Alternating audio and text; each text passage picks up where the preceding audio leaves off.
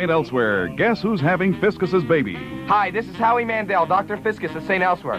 My prescription for what ails you? Take two aspirins and watch St. Elsewhere tonight on NBC. And later, Johnny welcomes Burt Reynolds to The Tonight Show starring Johnny Carson. Then it's late night with David Letterman and his guest, Tony Randall.